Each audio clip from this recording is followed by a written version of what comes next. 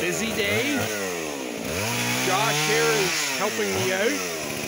Um, I can't get any of my chainsaws running, so he's cleaning this up for me so I can fix the fence and bring the pigs outside.